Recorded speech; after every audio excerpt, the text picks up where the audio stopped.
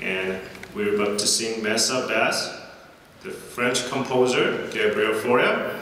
There are four movements, Kyrie, Sanctus, Benedictus, and Agnus Dei.